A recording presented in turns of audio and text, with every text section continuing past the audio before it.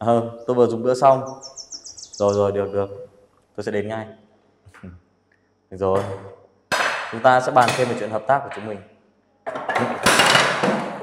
ôi ôi Tôi xin lỗi nhé. chết rồi ôi, lỗi anh Cô làm cái gì vậy? Bẩn hết quần áo tôi rồi. tôi xin lỗi tôi tôi tôi vô ý quá. Thế bây giờ bẩn quần áo tôi rồi, cô định thế nào đây? à, hay là bây giờ tôi tôi sẽ đền tiền giặt là cho anh được không ạ Cô nghĩ bộ dạng của cô mà đủ tiền à? Cô biết cái áo của tôi bao nhiêu tiền không? Để mang đi giặt là ấy, giá trị cũng không ít đâu. Để tôi gọi quản lý nhá. tôi xin anh anh đừng có gọi quản lý nếu như bây giờ mà anh gọi quản lý thì chắc chắn là tôi bị đuổi việc mất Đó là việc của cô. Cô làm ăn vụng về thế này thì tốt nhất nên nghỉ đi. Quản lý, quản lý không? thôi anh tôi xin anh bây giờ anh muốn tôi làm gì cũng được bên anh đừng gọi quản lý tôi rất cần công việc này ạ Cô có chắc là làm gì cũng được không? Được. Thế thì tôi có việc cho cô làm đấy. việc gì ạ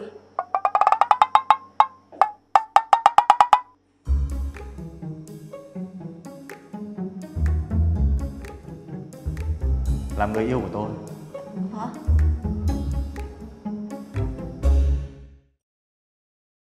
anh Nam này hôm nay anh bảo tôi giả là bạn gái của anh để đối phó ai vậy đối phó mẹ của anh hay là đối phó người theo đuổi anh eo ơi nhá mấy cái này tôi chỉ thấy xuất hiện trên phim thôi nhưng đây là lần đầu tiên tôi thấy xuất hiện ở ngoài đời mà nó lại còn vận ngay trên người tôi nữa Thôi, nói nhiều quá. Nói ít đi được không? Lát nữa ấy, cô sẽ gặp gì của tôi. Nhớ là tôi cho nói mới được nói, hiểu chưa? Ơ Kìa, tôi bảo là cho nói mới được nói. Đã hiểu chưa nào? Giờ anh bảo là cho nói thì mới được nói còn gì. À. tôi làm theo lời của anh thôi. Thế, thôi được rồi, thế thì cứ nói chuyện đi.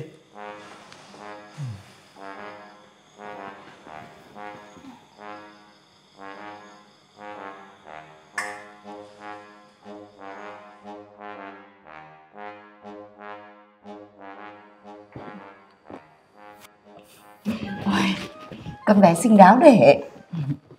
Ừ, cháu có bạn gái xinh xắn đáng yêu như thế này mà sao không nói sớm cho dì biết để dì cứ phải vất vả đi tìm bạn gái cho cháu Dạ, tại vì cô ấy kín tiếng ạ. Cô ấy muốn là bọn cháu phải yêu nhau ờ, một thời gian rồi. Khi nào mà chắc chắn thì bắt đầu bọn cháu mới công khai ạ. Lan Anh này thế cháu làm nghề gì Cháu làm phục vụ tại nhà hàng có chuyện gì thế Nam sao lại phun nước ra như thế? Thì là mất mặt quá. Không sao đâu gì. Cháu yêu anh ấy nhiều năm như vậy. Anh ấy toàn làm những trò con bò thôi. Cho nên cũng chẳng có vấn đề gì đâu ạ. Đúng là chỉ có con mới chịu đựng được nó À, mà con nói là con làm ở phục vụ nhà hàng là thật à? Dạ vâng ạ. Con làm việc ở đấy cũng được một thời gian rồi. Nói chung là công việc bình thường và ổn định. Hay là khi nào dì có thời gian Dì ghé qua nhà hàng của con nhá Con nhất định sẽ phục vụ dì nhiệt tình. Đàn anh, đủ, im đi. Con nói gì sai sao ạ? À không Ừ. con là một đứa bé thật thà không những là con không tự tin về công việc của mình mà lại còn cảm thấy rất là vui vẻ ờ, thật ra là bắt quen với con ấy sau này nó sẽ có hạnh phúc mắt gì nhìn người nó không có sai đâu Cái gì? Sao gì lại dễ dàng chấp nhận như thế à? Cô ấy chỉ là một nhân viên phục vụ. Còn cháu, cháu là chủ tịch một công ty. sao thế nam con bé là một đứa rất là thật thà. Nó không tự ti về công việc của nó. Ngược lại con thấy rất là vui vẻ tự hào. Cháu mà lấy được nó ấy, sau này ấy, nó sẽ rất có hạnh phúc. Mắt gì nhìn người là không có sai đâu. À thôi dì đi về đây. Dì đang có hẹn với ba mẹ cháu? Dì chào hai đứa nhá. Dạ vâng. Thế là gì ạ. Lan Anh này, cô làm tôi thấy bất ngờ đấy. Dì của tôi ấy, từ trước đến giờ nổi tiếng là khó tính. Tôi đã đưa rất nhiều cô gái về rồi, nhưng mà tất cả đều không được. Vấn đề ở đây không phải là gì của anh Vấn đề ở đây nó nằm ở những cô gái mà anh đưa về giới thiệu với dì của anh ấy Họ đều không thật thà như tôi À, hay là bây giờ cô nghỉ việc ở chỗ nhà hàng đi. Cô về công ty tôi làm việc. Tôi sẽ sắp xếp cho cô một công việc phù hợp. Cô yên tâm, chắc chắn là lương sẽ rất cao. Cô thấy thế nào? Anh nói thật chứ Ừ nếu mà được như vậy thì tôi cảm ơn anh.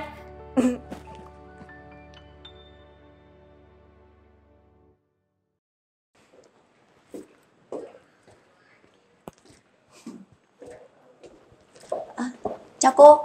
À, làm ơn cho tôi hỏi phòng kinh doanh ở đâu ạ? Cô là ai mà hỏi phòng kinh doanh? Tôi là nhân viên phòng đó đây. Ô thế thì may quá. À, giới thiệu với cô tôi là lan anh là nhân viên mới của phòng kinh doanh. Hôm nay là ngày đầu tiên tôi đi làm Rất mong trong thời gian tới được sự chỉ bảo của cô ạ Lan Anh á? Lan Anh học trường cấp 3 Trương Vương đúng không? Sao cô lại biết tôi ạ? Quên tôi rồi à? Tôi là Tú Linh, hot girl của trường đây. Ôi, là Tú Linh à? Ui, trông cậu khác thế Càng ngày càng xinh đấy Nhưng mà tôi đang hỏi là tại sao cậu lại được vào phòng kinh doanh làm việc? ừ, Thì tôi vượt qua phòng phỏng vấn Cho nên được vào đây làm thôi Lạ nhỉ? Những người như cậu ấy, tại sao lại được vào phòng kinh doanh làm việc nhỉ? Cậu có biết là công ty của tôi chỉ nhận những người được bằng giỏi đại học trở lên không? Nhìn cậu ngu dốt như thế này mà cũng được vào phòng kinh doanh á? Kiều Linh Cậu nói cái gì vậy Tớ nói với cậu là thật mà Tớ được công ty này mời đến đây Và tớ đã phải vượt qua vòng phỏng vấn Thì mới được vào công ty làm việc đấy Đi hỏi lại phòng hành chính nhân sự xem Người ta tuyển vào để làm lao công hay là làm một phòng kinh doanh? Chứ nghe cái bộ dạng này mà làm phòng kinh doanh ấy, thì vô lý lắm. Cậu. Im mồm ngay. Từ giờ trở đi ấy, trong công ty này tôi cấm cậu bảo là bạn của tôi đấy. Những cái người ngu dốt như cậu ấy bảo là bạn của tôi xấu hổ lắm. Biết chưa?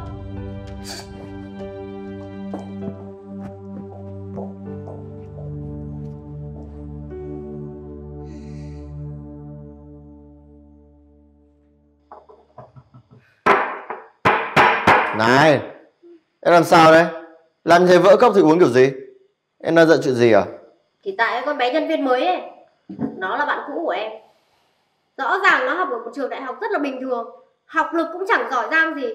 Thế mà lại vào công ty mình làm việc được. Lại còn làm ở phòng kinh doanh chứ. Làm sao mà làm như thế được? Bình thường công ty em tuyển toàn học sinh giỏi. Không thì cũng là du học sinh nước ngoài về. Lại tuyển một cái đứa vớ vẩn như thế vào công ty Chẳng khác nào là hạ thấp giá trị của em cả thì thế em mới bực mình đây này. Nhất định sẽ tìm cách đuổi việc nó. Em chỉ sợ là nó có người chống lưng thôi. À Mà cái chuyện xem mắt của em thế nào rồi? Sao mấy hôm nay chả thấy ai gọi em đi xem mắt đấy Số của em bấp bênh thật đấy. Anh đã liên hệ cả dì Hà của chủ tịch công ty em Để sắp xếp xem mắt. Thế nhưng mà đang ngang đường, Tự nhiên lại có đứa nhảy ra nhận là người yêu của chủ tịch. Thế có cáo không cơ chứ? Làm gì có chuyện đấy? Chủ tịch công ty em rõ ràng là đang độc thân mà. Thế nên em mới tìm mọi cách để xem mắt với anh ấy chứ. Làm sao mà em có người yêu mà em không biết được nhở? Anh nghe nói Con bé đấy tên là Lan Anh Nhân viên mới ở công ty em. Em thử điều tra xem Đứa nào mà tốt số thế. À Hóa ra là con Lan Anh à? Nhân viên mới ở công ty này ấy, Chỉ có một mình một con Lan Anh thôi. Thì ra là mày đi cửa sau vào công ty à Em sẽ không tha cho nó đâu. Em định làm gì? Thì phá hoại tình cảm của nó với cả chủ tịch. Người như chủ tịch ấy Thì chỉ có em mới xứng để làm dâu thôi. Làm sao mà cái loại nghèo hèn mặt hạng như nó lại làm dâu được? Nếu mà không vì chủ tịch ấy Thì em đã không sang công ty này để làm việc rồi. Làm xử công ty nhà mình có phải tốt hơn không? Đúng. Em gái của anh phải có trí lớn như thế chứ. Thằng Nam là con độc Bằng mọi giá. Em phải cưới được nó. Nó là cái mỏ vàng. Công ty của nhà nó Sẽ hỗ trợ cho gia đình mình rất nhiều đấy. Vâng ạ.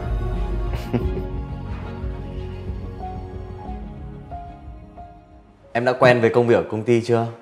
Có gì khó khăn không? Dạ, không có gì khó khăn ạ. Mọi người trong công ty giúp đỡ em rất là nhiệt tình. Em rất thích công việc này. Em cảm ơn anh. Em không phải lúc nào cũng cảm ơn anh đâu Ở trong công ty Anh nổi tiếng là khó tính trong công việc.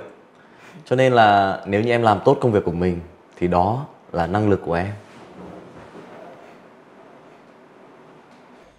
Anh Nam ơi Chúng ta đi ăn cơm thôi. À phải rồi. Dì của anh rất muốn gặp em ngày hôm nay. Anh có mua tặng em cái váy. Em xem có thích không? Nếu thích thì em có thể mặc nó vào tối nay đến gặp dì anh được không? Uầy Anh có mắt thẩm mỹ nhở? Chiếc váy đẹp thật đấy. Vậy thì tối nay Em có thể gặp anh mấy giờ Và gặp ở đâu ạ? Tối nay chúng ta sẽ gặp nhau ở công ty.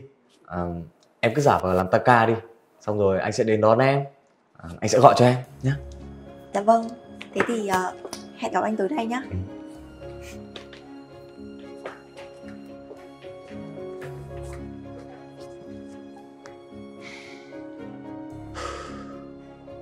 sao thế nhỉ cứ mỗi lần mình gặp cô ấy, là tim mình cứ đập thình thịch thình thịch. Không được. Mình phải mua thuốc trợ tim.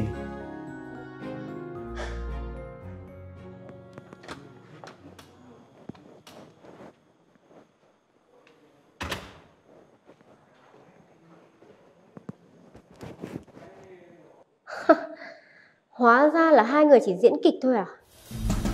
Lan Anh ơi là Lan Anh. Mày đúng là một con khốn nạn. Chỉ vì mày mà tao không có cơ hội để xem mắt với chủ tịch. Để rồi xem.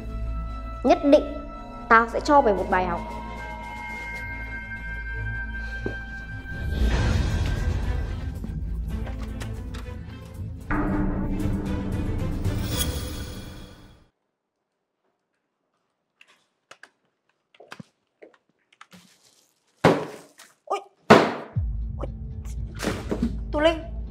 Làm gì vậy hả?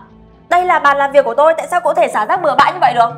Này nhá Cậu có ghét tôi Tôi nói thẳng ra luôn đi. Việc gì cũng phải làm như vậy? Ừ, tao thích gây sự với mày như thế đấy Thì sao? Ngay từ đầu mày vào công ty ấy Tao đã không ưa mày rồi. Ai ngờ mày chính là người phá hoại hạnh phúc của tao. Cậu nói cái gì đấy? Tôi không hiểu. Mày ấy Giống như cái đống rác này này. Đã nghèo lại còn muốn tiếp cận những người nhà giàu. Chẳng lẽ Mày muốn tao nói toẹt tao mọi chuyện à Con người làm gì thì cũng cần lý do. Cậu đừng có mà làm mấy cái trò khùng điên như vậy nữa. Một khi tớ còn coi cậu là bạn Đừng để đánh mất đi tình bạn này. Vậy à? Nếu mà mày đã muốn rõ ràng mọi chuyện đến thế ấy, Thì tao nói thẳng cho mày nhá. Cái chuyện hẹn hò lừa đảo giữa mày với cả chủ tịch công ty này ấy, Tao đã biết rồi. Cậu nói cái gì đấy? Không hiểu hay là giả ngu thì tao cũng kệ mày. Nhưng mà nếu như mày làm tao phật ý Hay là tức giận ấy Thì chắc chắn tao sẽ đến gia đình nhà anh ấy Nói hết mọi chuyện cho gia đình nhà anh ấy biết. Để xem gia đình nhà anh ấy có chấp nhận một cái loại người lừa đảo dối trá như mày không? Linh Đây là chuyện riêng của tớ và chủ tịch. Tớ thì không sao. Nhưng mà nếu gây nguy hại đến chủ tịch Thì mọi chuyện không đơn giản như vậy đâu. Cậu nói đi. Cậu muốn cái gì? Tớ sẽ làm theo yêu cầu của cậu. Phải cư xử như thế chứ nhở? Công ty đang thiếu một con chó đấy. Nếu mà mày làm chó cho tao vui ấy Tao hứa sẽ bỏ qua chuyện này. Không bao giờ nhắc đến nữa. Ok. Tớ biết rồi. Bây giờ ấy Dọn sạch cái đống rác này đi. Từ mai trở đi ấy Tao bảo gì mày phải làm theo Không thì đừng có trách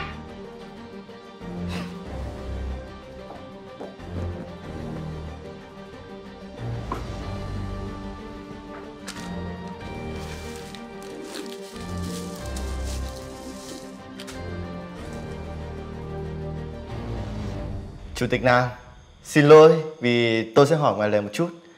Không biết Chủ tịch Nam đã có người yêu chưa nhỉ? Tôi có cô em gái rất thích Chủ tịch Nam. Con bé xinh đẹp, đáng yêu. Hay là Chủ tịch Nam thử hẹn hò với nó đi. à cảm ơn giám đốc cao nhưng mà thật sự là tôi đã có người trong lòng của mình rồi sớm muộn gì chúng tôi cũng trở thành người yêu của nhau Ờ, không biết là người trong mộng của Chủ tịch Nam là ai nhỉ? cái này thì bí mật chúng tôi đang tìm hiểu nhau À. Anh Anh Quái lạ Tại sao hôm nay cô ấy cảm giác như là sợ mình hay sao nhỉ Hay là chúng mình xấu quá Chủ tịch Nam, anh làm sao thế? Sao thẫn thờ vậy? Không có gì đâu Thôi chúng ta vào bàn chuyện hợp tác đi À, ok.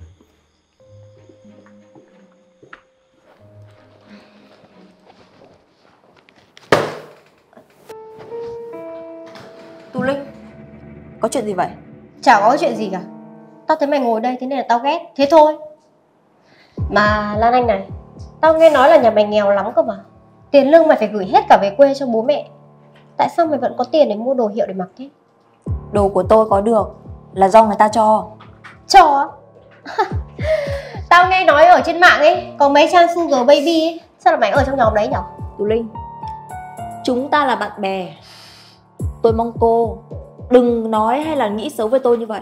Tôi đến công ty này làm để kiếm tiền chứ không phải là để kiếm chuyện với cô đâu. Làm sao? Tao thích làm như thế đấy. Mày làm gì được tao nào? Nhìn thấy cái mặt mày thôi ấy, tao đã thấy phiền. Mày có biết là gì anh Nam? Giới thiệu cho một người để đi xem mắt ấy. Là ai không? Là tao đây này. Nhưng mà chính mày Chính mày đã cướp đi cái hạnh phúc đấy của tao đấy mày biết không? Tôi tôi không biết tôi thật sự là không biết. Tôi, Mày đừng có mà thẳng nghi thẳng như thế nữa. Nhá! Thật sự là tôi không biết chuyện đó mà. Cái cái hôm đi xem mắt ấy tôi Im mồm Tao không nghe mày giải thích cái gì nữa.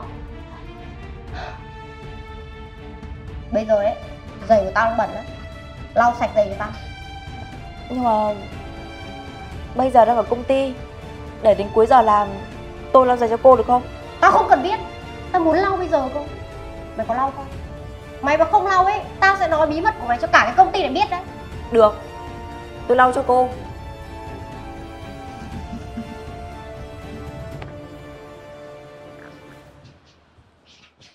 Quỳ xuống mà lau. Đứng như thế lau sao sạch được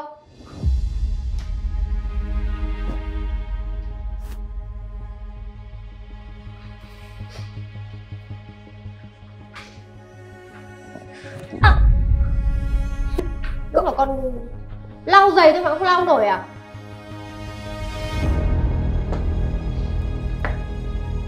Sao thế? Giày của tao đã sạch đâu? Lau cho sạch đi chứ. Hay là mày muốn tao nói hết cả cái công ty này cho mọi người nghe? Cô không được nói. Tôi sẽ lau giày cho cô.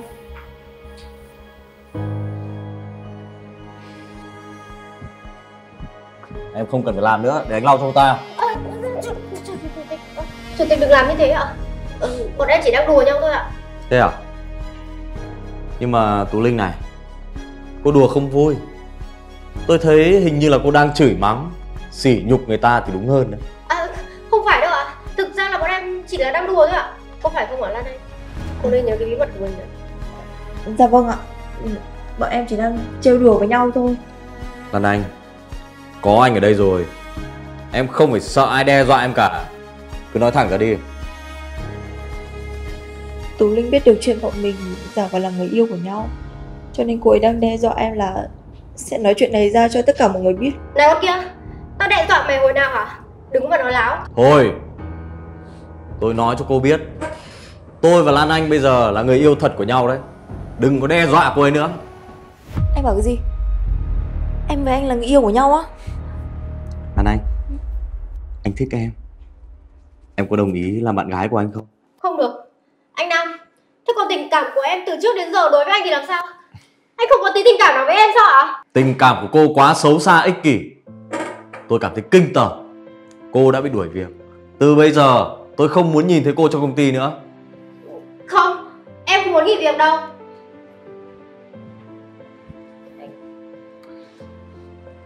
Nam Công ty chúng ta vừa hợp tác với nhau. Cậu có thể nể mặt tôi Mà đừng đuổi việc em gái tôi được không Anh Cao Công việc của chúng ta là riêng. Còn đây em gái của anh mắc lỗi Thì cô ấy phải chịu trách nhiệm. Nhưng mà đây là em gái của giám đốc. Chúng ta đều là người nhà giàu Mà cậu biết rồi đấy. Người giàu Nếu có làm sai Thì đều được bỏ qua và tha thứ. Cậu đừng chỉ vì một con bé nhà nghèo này Mà làm em gái tôi buồn. Nếu không ấy Thì hai công ty chúng ta hủy hợp đồng. Hủy thì hủy Tôi không muốn hợp tác với một người giám đốc khinh thường và sỉ nhục người khác Để bao che cho em gái của mình. Kiền Nam Lúc nãy tôi chỉ nói đùa thôi. Cậu đừng tưởng thật Chuyện công ty chúng ta hợp tác với nhau Không thể đùa được. Mình mình không hủy hợp đồng Nam nhá. Đúng Chuyện này không thể đem ra đùa được. Và tôi cũng không nói đùa đâu. Tôi ghét nhất những người đem công việc ra để đe dọa tôi Tôi nói cho anh biết, Anh đừng tưởng là có tiền Mà có thể coi thường sỉ nhục người khác. Đây là cái sai của anh và em gái anh. Cuộc sống này công bằng lắm. Núi cao sẽ có núi cao hơn. Đừng tưởng là mình giỏi. Đi thôi em Kìa, Nam! Chủ tịch Nam! Nó mất tất cả rồi đấy. Là thằng này đấy! Con ngu! Anh tự nói chứ em có bắt anh nói đâu. Tại anh ngu ấy em mất việc rồi này